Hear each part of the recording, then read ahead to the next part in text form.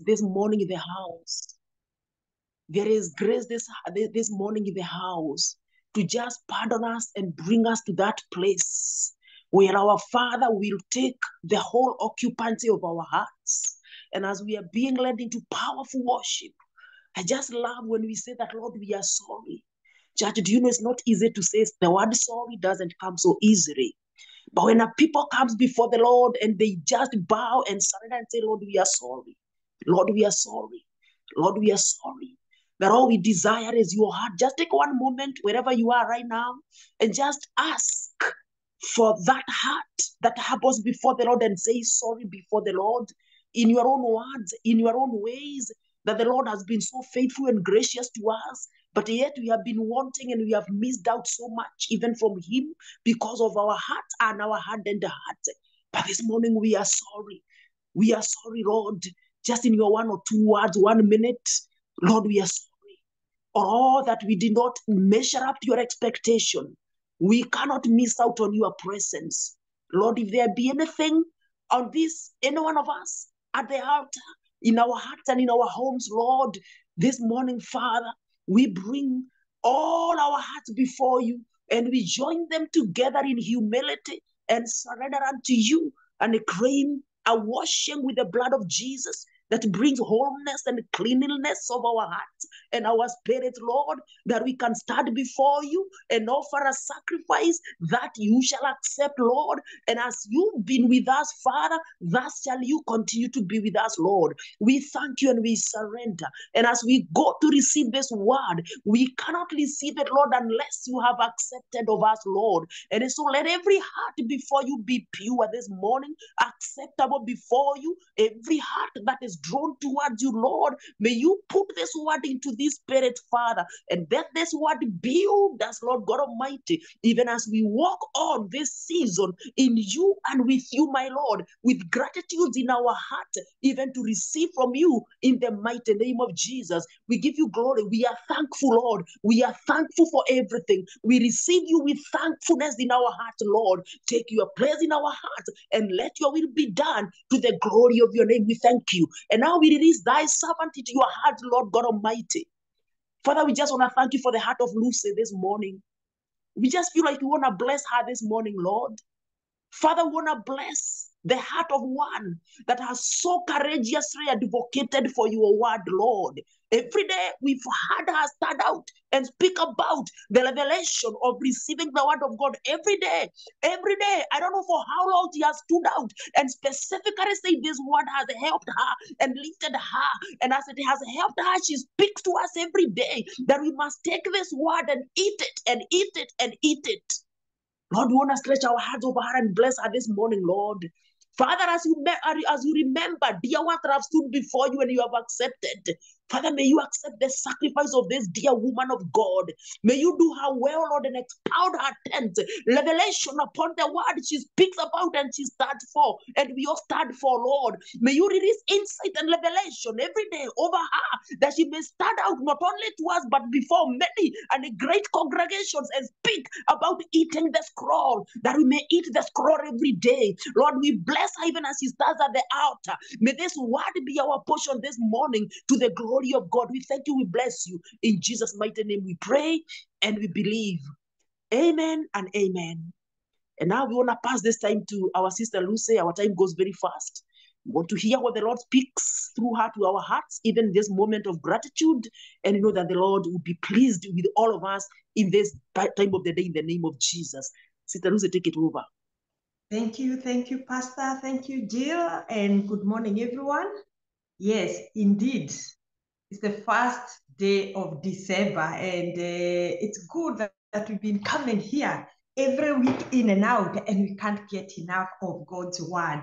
Yes, today's topic is going to go around um, topic that will leave us repenting and asking for repentance. At least for me, having prepared this word, all that came to me was I need to repent through the word of God. It's going to be social intelligence, of course. I can't get away from this topic.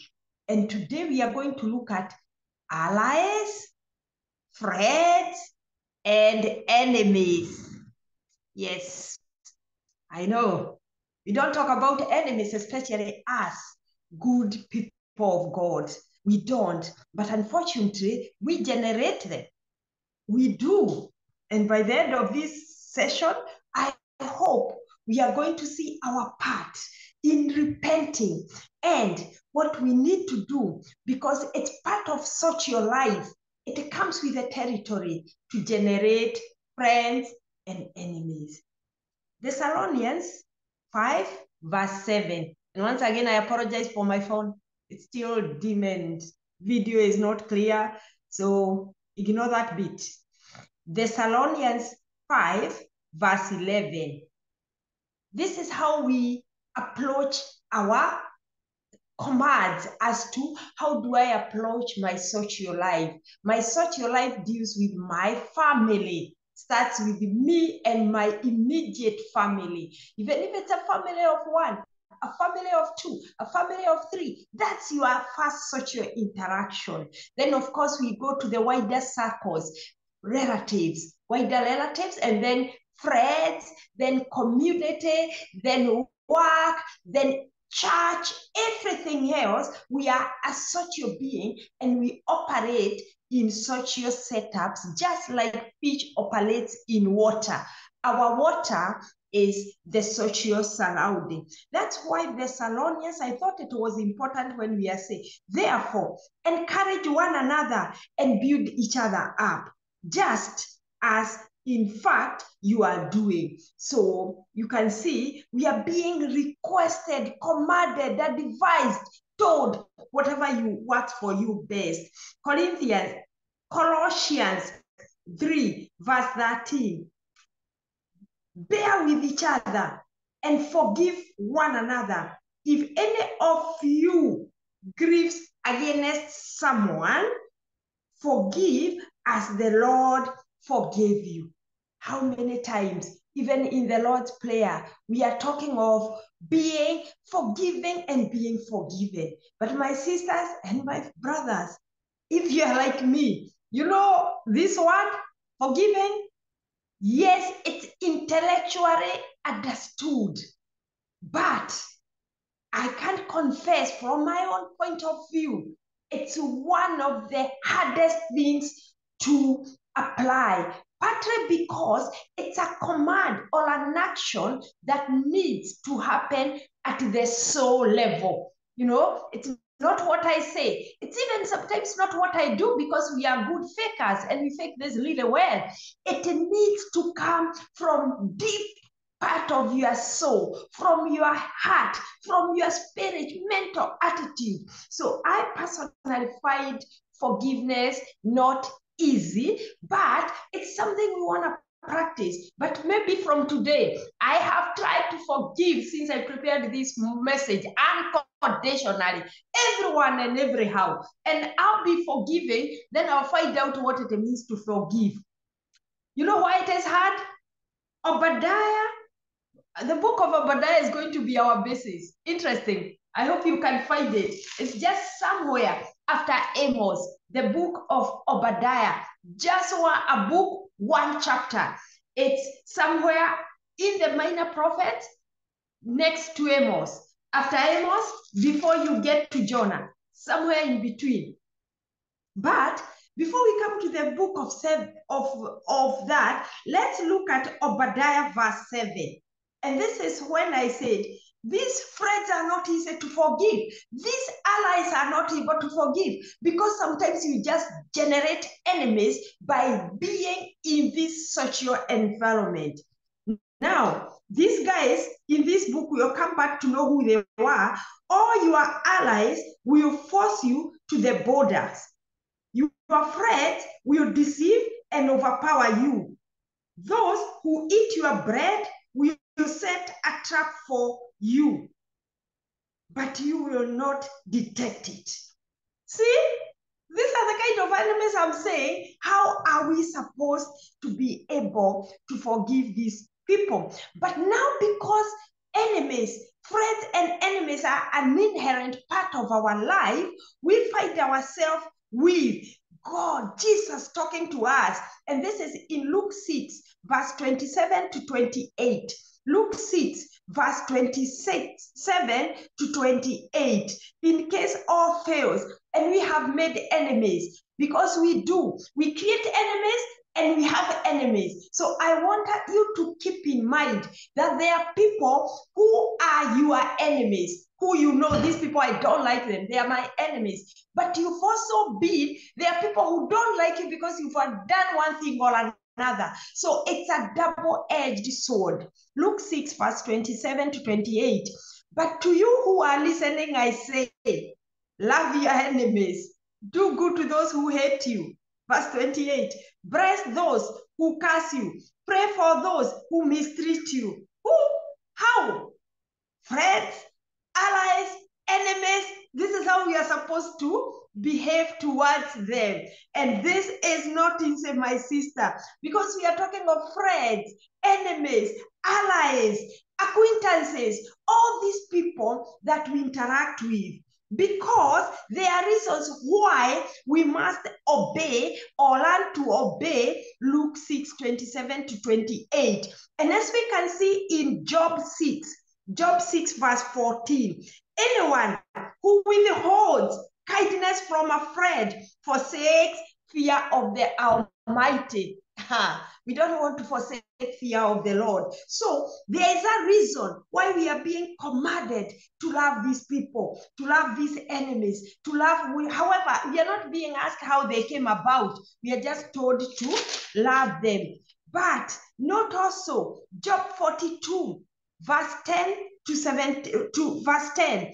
After Job had prayed for his friends, the Lord restored his fortunes in and gave him twice as much. This is where the issue of double portions come from. So we've got good reasons that we must. One, we cannot afford to forsake fear of the Lord. Two, it is not until Job prayed for his friends. These people, we can call them allies. We remember in Job how annoying they were, how they critiqued Job, how they embarrassed Job. But when Job prayed for them, it's like there is a condition, my sister, my brother, for your total and full, complete restoration. And that condition is you must be fulfilling Luke 6, where you are praying for your enemies. You are doing good to them. And my sister, my brother, I can tell you it wasn't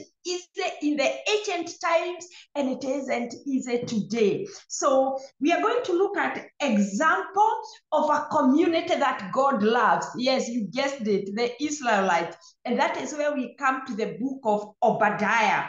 Obadiah, and if you just go to verse, verse 1, you can see he's addressing the eh, Edom. Edom is the land where Edomite lived.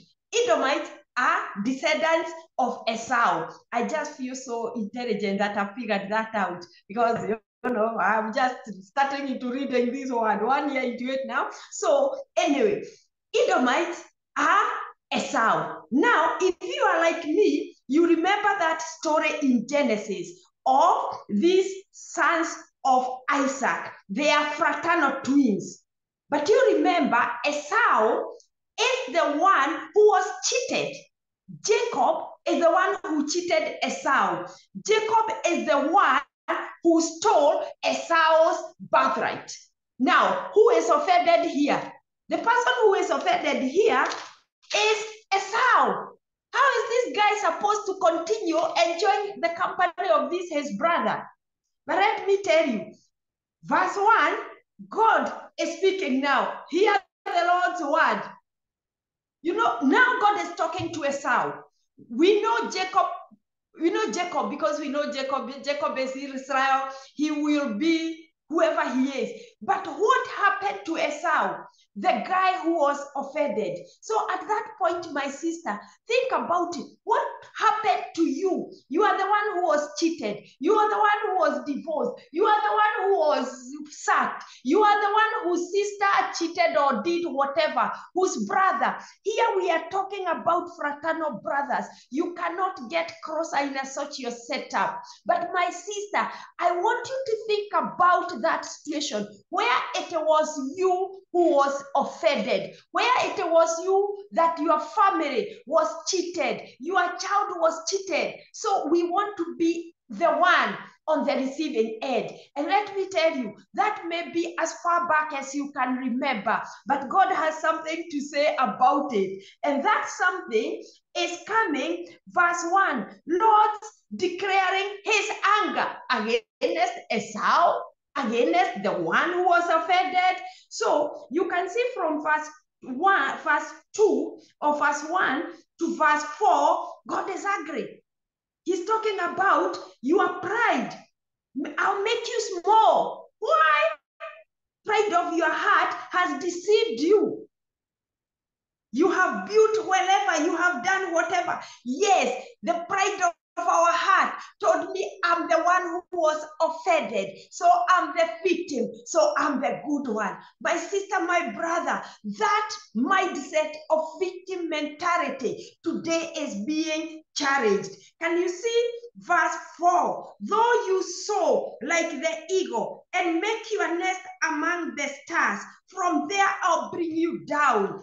My sister, this is God speaking. So declares the Lord.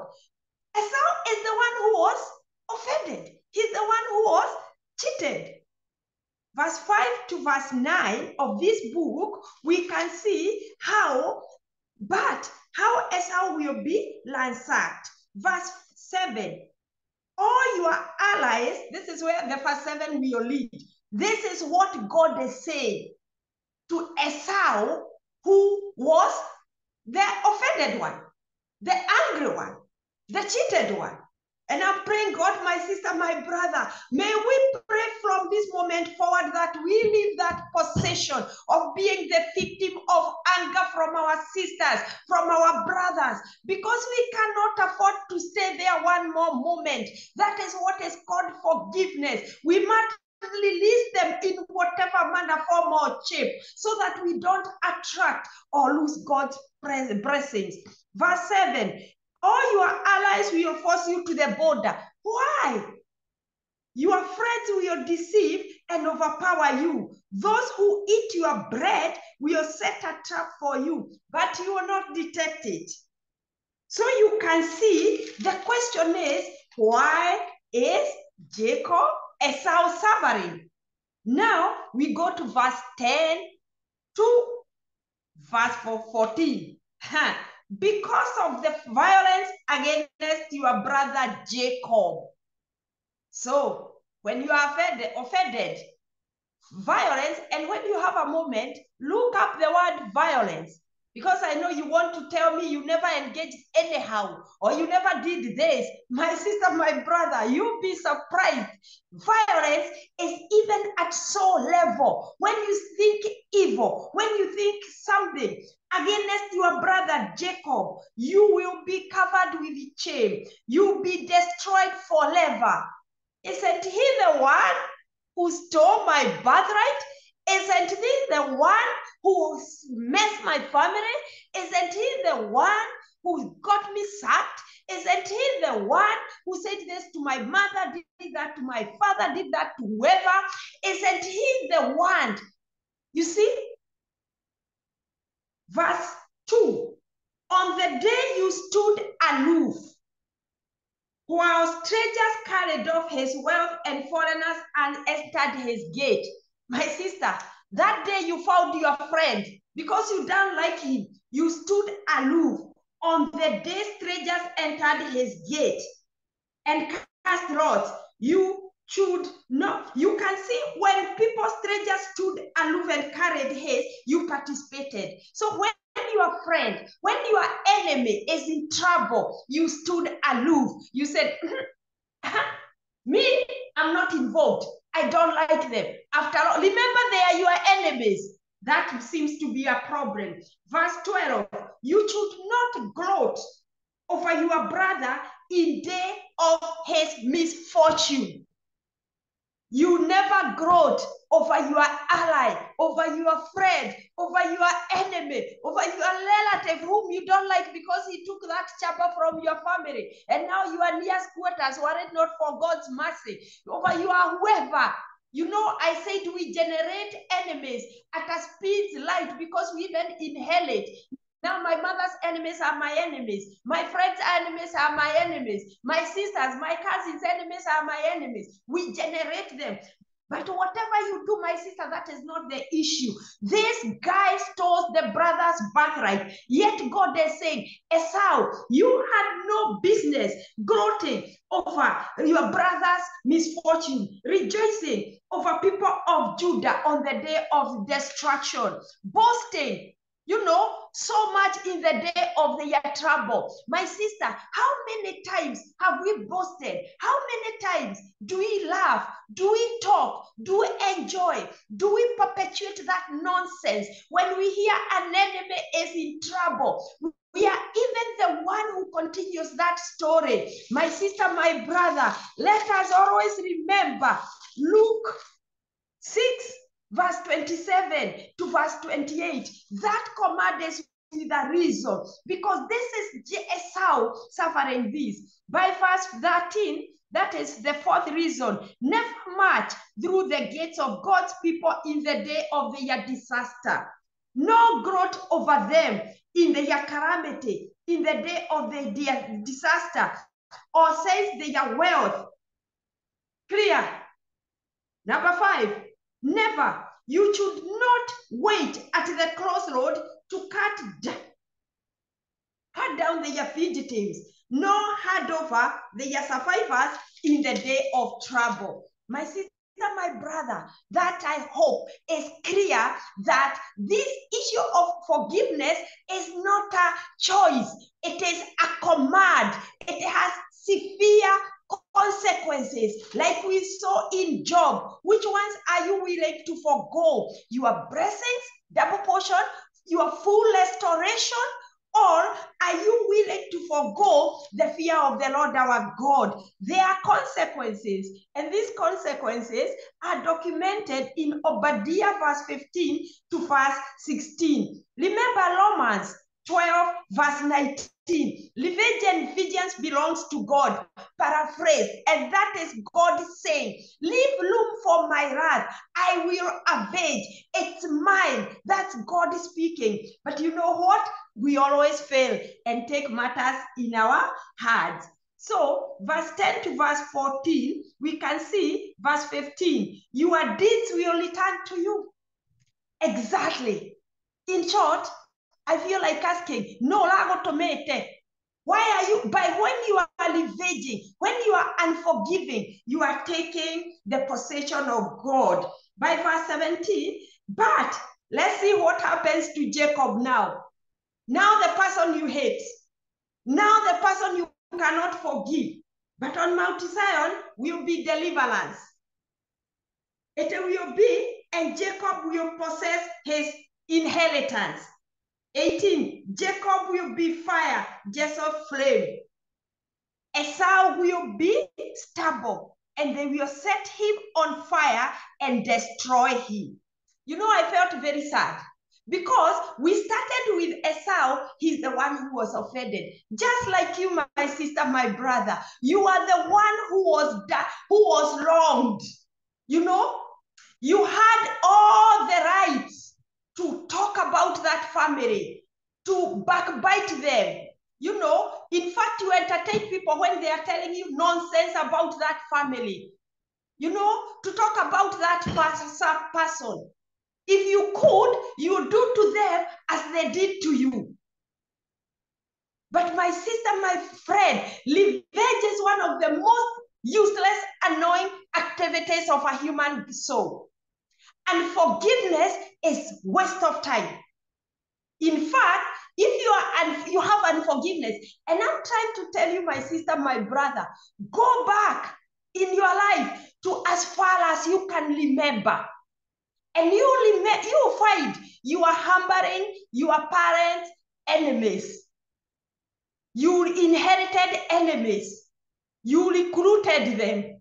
And I'm not saying you. I'm when I say you, I mean me because this is me. And now I'm here praying to God for total, complete restoration. Praying for the heart to be forgiven. Father, I said uh, we are saying we are here to repent.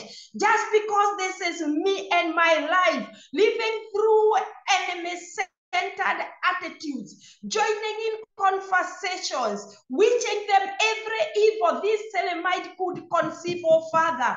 But today I'm coming to you to say, give me the heart and the soul to forgive and release them, to memorize Luke 6, verse 27, and to remember revenge and vengeance belong to you. And Father, you are capable, you do not need my help. That's why we are here this morning to say that Jacob, by verse 19, you can see Esau will stumble and they will destroy him. In verse 19 we, to 21, we see Jacob's frolicking.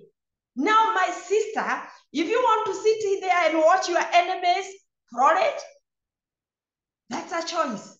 But the choice is narrow. By verse 21, and the kingdom will be the Lord's, God Almighty. Conclusion here. What do we learn from this message?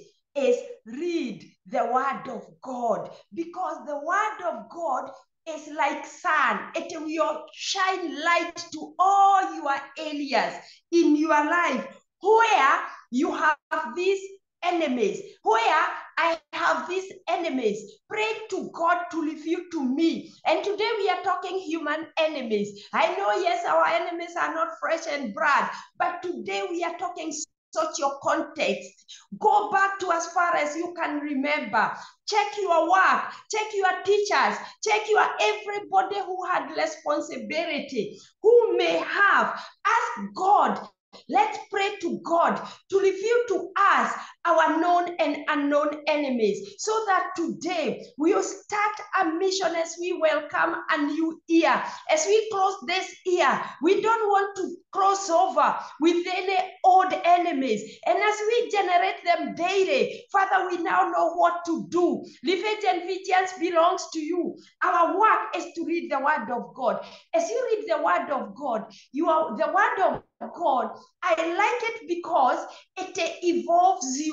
You evolve, it renews your mind. And as your mind is renewed, you evolve to a new person and you find the version of you that was offended no longer exists. So, my sister, you have no business be carrying a nanga that was done to your aunt when you are 10 years old. The elusive version of a 10 year old no longer exists. But because of our enemy, the spiritual one, the schemes of the evil one, the want I want to drag that on, and that carries my world. You can see Esau and Jacob, they were fighting as boys, but you can see the whole tribe of Edomite was wiped from the face of the earth. So it's our choice for generations to come. So, Lord, lead higher spiritual and emotional energy. So the more you read the word of God, the more you pray the word of God, the more you fast the word of God, the more you join in fellowship of believers, the more we come here to talk about the word of God. We read it whether we understand it or not. And God continues to review it to us. We start now generating higher spiritual and emotional energy. And that is when you start relieving the enemies. And I think and Forgiveness is a process of this evolvement. So, Father, today we come just to ask for forgiveness, to repent for all our misunderstanding, that we forgot that we have evolved into a new version where you give us new bodies. But Father, we pray and we pray that where we had carried, where we had unforgiven our Jacobs, the Jacobs in our lives, oh Father, from this moment forward, we drop them. With the end of this year, we drop any unforgiveness in our spirit. In the mighty name of our Lord Jesus Christ, amen. Amen. Over to you, Pastor. Glory to God. The bottom line of the matter, and this new season we are just beginning, is that before the Lord we go with repentant hearts and asking for forgiveness, even for us to be able to experience and also to walk, to continue walking in the presence of the Lord. That if there be anything within us, and I'm as our sister speak, I'm reminded of the word in the book, book of First John, which says that if you do not love the person that you see, how can you say that you love God? And the same way, if you cannot forgive the person that you see, how can you say that you are forgiven even by God? So it is two-way traffic. It's two-way. And I love when in Matthew, uh, no, in Luke 6, the Bible says that to you who are listening, I say, love your enemies and do good to those who hate you. And we started by saying, and this is how we usually know that the Spirit is working in us. I actually, we didn't even know that this was a message that was coming. But we said saying sorry is so hard. It is not the easiest thing to do. It is so hard. But the Bible tells us, love your enemies and do good to those who hate you. Bless those who curse you. Church of God, I understand that the minute we do this, if it comes from our heart and we even approach our people and we ask for forgiveness, prayer prayerfully, and when we approach them physically and do so, that because it's not easy to do, but when it does happen, there's a package of blessings are attached to it, a package of blessings that are attached to, the, to it. And that's what we want to reach out and experience and enjoy, even as the Lord blesses us. Whenever there is a command, there is also a blessing that is attached to us when we, we when we meet it. And so in this season, church, as we pour our hearts out before the Lord in thanksgiving and in gratitude for what He has done for us. If there be anything that can hold us back from that, that's where we are approaching this season also with repentance and asking for forgiveness even in on our part, and so that the Lord will continue to release His hand over us, and we shall enjoy the breakthrough that the Lord has given and has in store for us throughout this season. Church of God, it's a privilege to be here. The Lord has had His grace over all of us. It is ultimately the grace and the heart of the Lord that has brought us this far. And that being the case, we also have to stand in our position and surrender all. We love the song where we sing that I surrender all. It means if we surrender, we surrender it all unto the Lord our God. He can help us to walk in forgiveness. He can help us to achieve that. It's not easy on us, but He helps. He helps us to search our hearts. And when He searches our hearts and exposes what is in our hearts, then we are able to go before Him in repentance. And we know that the Lord will help us even as we walk through this season. That He will accept our gratitude in the mighty name of Jesus. Church of God, we are thankful before the Lord. I know you are, and I know we are, and I know and I and I believe I am, we are this morning. May this one be our portion, even as we search our hearts and prayerfully as the Spirit exposes what He exposes. May we release it to the Lord in prayer and know that the Lord will help us through this season. All in all, may we be reminded that our God has been gracious to us. Walk through this season even higher than you have been, as our sister has said. It is from one level to another, and you know it's for a good reason and a good cause that the Lord has brought us here. Be blessed as you approach this day. The Lord has had mercy on you to cross you over into this season of festivity as we are approaching this month. It is by His grace and Lord God Almighty, we know that we shall accomplish your reason for us in this season to the glory of your name. We are blessed and church be blessed as you go on your way. We shall meet again here on Monday morning. And those are who are around Adelaide. Tomorrow is the day that we usually go to um, the prayer meeting, the combined bigger prayer meeting. So we don't go to 117, but we go to Sturt Road for the combined interdenominational intercessory meeting. That is tomorrow. And then we shall be able to resume back um, the Saturday after where we go to 117 Goodwood Road. God bless you so very much. Enjoy the day. Uh, be, be, be positive in this December uh, vacation that we are going into. Go on to it victoriously and know that the Lord is with us. He has given us grace and brought us this far. It is by His grace that we are here and we shall even go further. God bless you and do you well. And now may the grace of our Lord Jesus Christ and the love of God and the fellowship of the Holy Spirit be with us now and forevermore. Amen and amen. And surely goodness of God and his mercy shall follow us all the days of our lives, and we shall dwell in the presence of the Lord now and forevermore. Amen and amen. God bless you so much and see you again here online on Monday, otherwise through the weekend when we see you, if we see you. God bless you so much. Bye for now.